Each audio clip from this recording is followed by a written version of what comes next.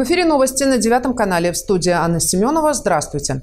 Владимир Путин провел сегодня совещание с главами Белгородской, Курской и Брянской областей. Обсудили эвакуацию из приграничных районов, вопросы выплат и ущерба. Предварительный ущерб сельскому хозяйству Белгородчины оценили в 3 миллиарда рублей. Ущерб бизнесу – 1 миллиард. Губернатор Гладков доложил президенту, что в региональных ПВР находится 3 тысячи человек. В лагерях 6171 ребенок. Ситуация в регионе остается сложной. 35 населенных пунктов пунктов закрыты. Ежедневно ВСУ проводит 3-5 атак на территорию нашей области. Чтобы поддержать мирное население, пострадавшее от обстрелов, работает программа списания ипотеки по разрушенному жилью. В 113 школах региона с 1 сентября ведут дистанционное обучение. Для защиты детей строят укрытия рядом с детскими площадками. Там, где нет подвала, формируют зоны, в которых можно спрятаться от осколков. Администрация региона направила правительству заявку на выделение средств на выплаты по 15 тысяч рублей и 150 тысяч. Также Вячеслав Гладков попросил президента России рассмотреть возможность федерального финансирования отрядов территориальной обороны, поддержку малого и среднего предпринимательства, выделение средств на прокладку оптоволокна в приграничье, организации очного обучения детей из приграничных территорий в безопасных регионах страны, формирование резерва генераторов мобильных котельных.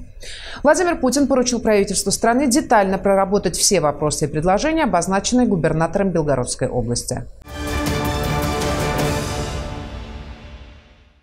Сейчас информация о новых атаках ВСУ на Белгородчину. Минно-взрывную травму, баротравму и осколочное ранение ног получила во время сегодняшнего обстрела Шебекина мирная жительница. Там же пострадал мужчина, их обоих госпитализировали. В семи частных домах выбиты окна, посечены фасады и кровля. В одном из коттеджей загорелась крыша. Повреждены также гараж и три автомобиля. А 64-летний житель поселка Октябрьский Белгородского района сегодня лишился кисти руки. Мужчина обнаружил в лесу боеприпас и попытался его разобрать, чтобы затем сдать попадать в металлолом. Снаряд сдетонировал у него в руках. Сегодня в России отмечается день одного из главных символов страны – государственного флага. История нашего триколора насчитывает уже более 300 лет. Впервые бело-синий-красный флаг был поднят на русском военном корабле «Орел» в 1668 году. Государственным символом флаг стал при Петре I. В новую историю нашей страны трехцветный российский флаг вернулся 33 года назад. Массовых празднеств по случаю Дня флага в регионе нет, так как на территории действуют режимы ЧС и КТО. Около 20 тысяч старооскольцев остались без холодной и горячей воды из-за крупной аварии на магистральном водопроводе. Еще 60 тысяч человек, по словам властей, ощутили заметное снижение давления в трубах.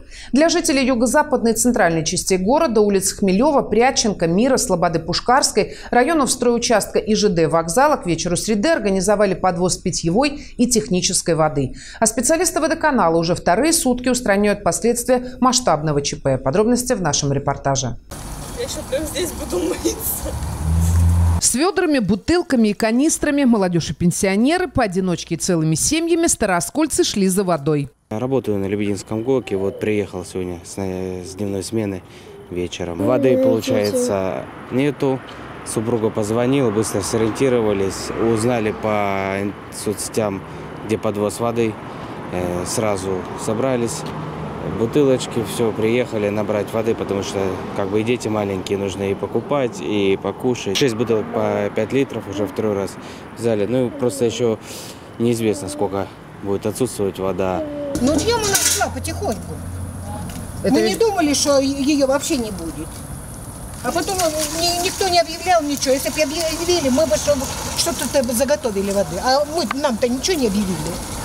Вот и теперь носим. Пенсионеры с больными ногами не ходили. Хватит ведра? Нет, конечно, но я же больше не унесу. Вот это машина. Вот эта машина приехала в Оскол из Корочи. На помощь нашему округу пришли другие муниципалитеты и водовозы предприятий. На улице Ленина 4 куба питьевой воды разобрали за 4 часа. Вода закончилась. 9 часов вечера. Как быть дальше? Где набирать еще? На Октябрьской улице. На Октябрьской ага. Можно еще на Новый город сходить. Вообще смех. Издевательство над людьми. Вскоре водовоз вернулся с новой партией питьевой воды. Возле ЦМИ дежурная машина МЧС с технической жидкостью. И здесь тоже полно желающих запастись ценным ресурсом. А у меня там была канистра воды. И вот сейчас Вот закончилось, пришлось идти. Ну так, чтобы воспользоваться когда. Помыть там посуду или еще что-нибудь. Хватит, пока хватит. А там посмотрим. С природы приехали, дома воды нету. Получается, ни объявлений, ничего не было. Без предупреждения отключили. Я просто съездила такой воды купила обычной, чтобы попить, а это хоть обмыться с природы, потому что все вся грязная.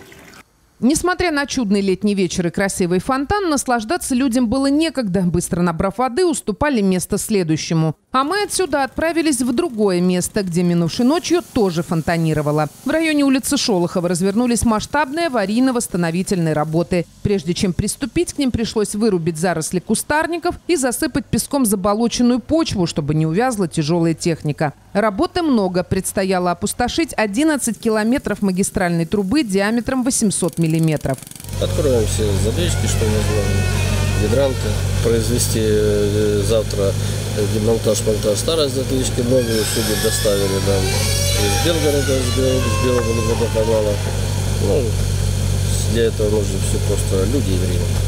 Людьми помогли из областного водоканала. Помимо специалистов, в Старый Оскол днем прибыл исполняющий обязанности генерального директора организации Андрей Колесников. Он рассказал, что снижение подачи воды в резервуары в водоканале заметили еще 19 августа, но место порыва на подземном водоводе удалось обнаружить только спустя два дня. Много воды утекло с тех пор. Поэтому новый затвор изделия штучные и дорогостоящие установить сразу было нельзя. Сперва нужно наполнить водой опустошенные из-за аварии резервуара насосной станции «Горняшка», чтобы избежать завоздушивания трубопровода. На лопнувшую задвижку установили муфту, временно вернув трубе герметичность. То, что объем воды в резервуарах уже на минимальной возможной отметке, мы, если начинать менять затвор сейчас, мы можем допустить завоздушивание системы, и, соответственно, вода может пропасть на длительный срок, что недопустимо. К вечеру у места аварии МЧС установила мощный световой столб. Работы не прекращались всю ночь. Перерыв разве что на чай и бутерброды, организованные для сотрудников водоканала администрации округа. Точных сроков полного восстановления водоснабжения никто не называет. Ветхие сети могут подвести вновь в самый неожиданный момент. Основная предварительная причина нынешней аварии – также многолетний износ деталей. По технологическим срокам специалисты сейчас планируют провести работы по установке новой задвижки в течение 6-8 часов. После этого будет проверка на герметичность всех швов.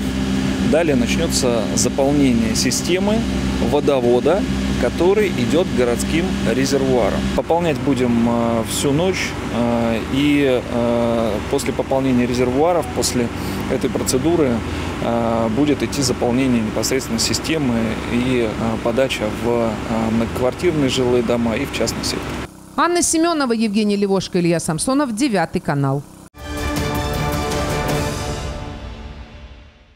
Необходимые запасы воды сформировали в больницах, пунктах временного размещения и других соцобъектах. В детских садах, попавших в зону отключения, работают только дежурные группы.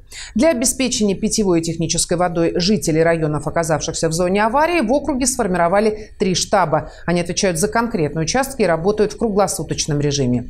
Что делать, если прийти за водой самостоятельно нет возможности? И куда звонить по вопросам водоснабжения? Смотрите в нашем следующем репортаже. Тяжелее всего пришлось микрорайону «Юность». Помимо семи жилых домов, полностью без всякой воды здесь остались еще 57-й садик и 21-я школа. Если в школе учебный год еще не начался и отсутствие воды проходит безболезненно, то в детском саду пришлось организовывать дежурные группы. Запасы воды подвезли еще вчера. Для жителей многоэтажек припарковали цистерну в районе дома номер 4. Но об этом местные узнали не сразу. Много цветов, много налито бутылок с водой для полива цветов. Вот этой водой спасались и покупали ее в Хрусталь, это, в Хрусталь Белогорье питьевую воду. А когда узнали, что здесь вода? Только что.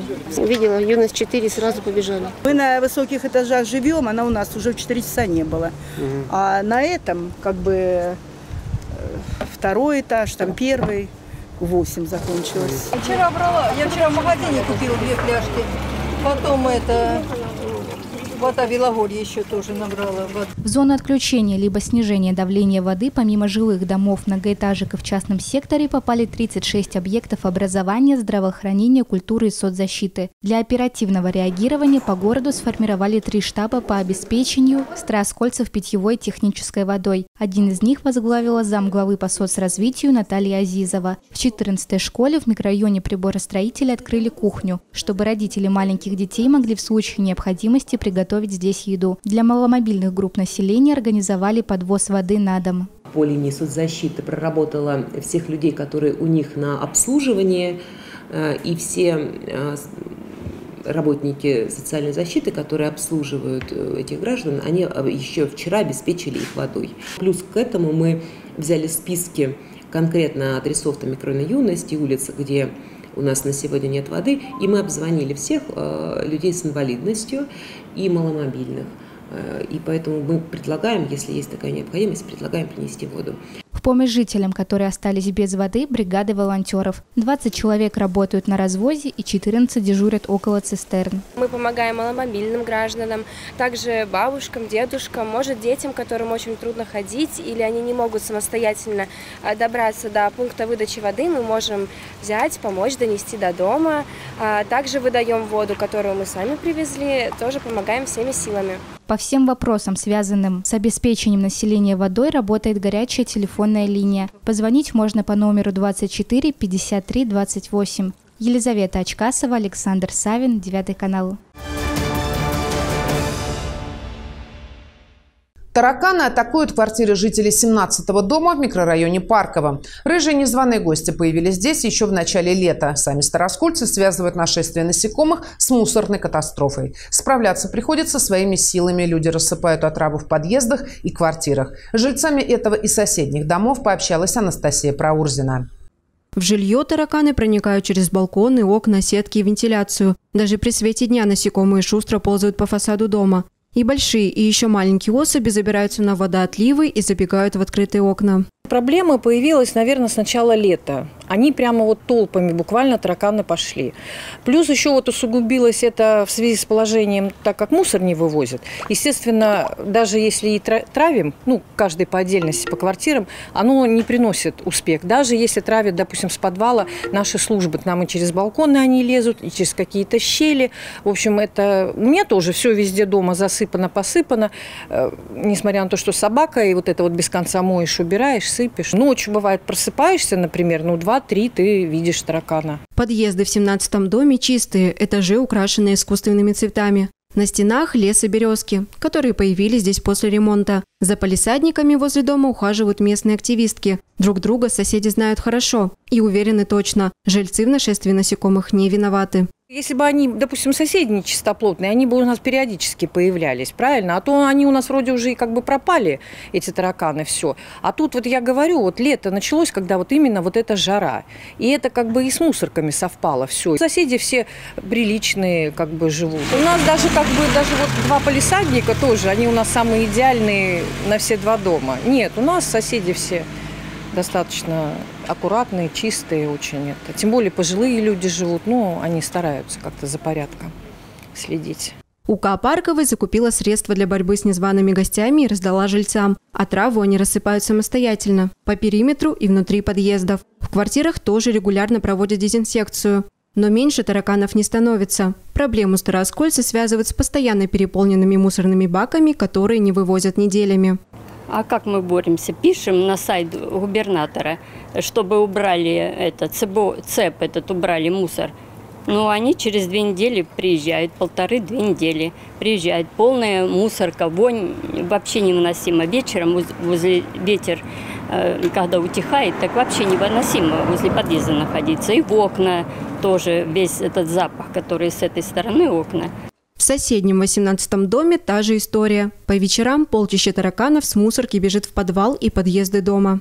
Они бегом бегут от мусорки, вот отсюда, вон там мусорка. Они прямо сюда, в дома. Идешь по тротуару, они во, с цилиндриками с этими. Только у подъезда заходишь и смотри, чтобы не запустить собаку туда. И уж запустишь дверь, квартиру открываешь, она туда запишет. Пока проблема с вывозом мусора в округе не решена, рыжие постояльцы покидать новые дома не планируют. А трава – лишь временное спасение. Пока съемочная группа 9 канала общалась с жителями 17 и 18 домов, к нам обратились жильцы соседних многоэтажек. Тараканы мучают и их. Анастасия Проурзина, Александр Савин, Илья Самсонов, 9 канал.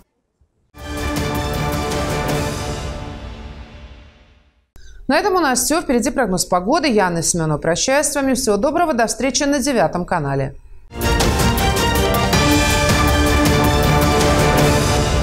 Анастасия Проурзина. Здравствуйте. Вместо стремительного угасания лета в центральной части России вновь ожидается жара. Самым теплым днем августа в Москве стал прошлый понедельник. Столбики термометра показывали плюс 28.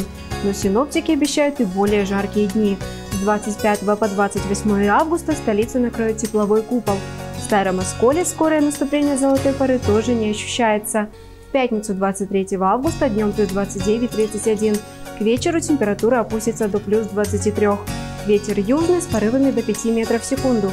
Атмосферное давление выше нормы 745-748 мм ртутного столба.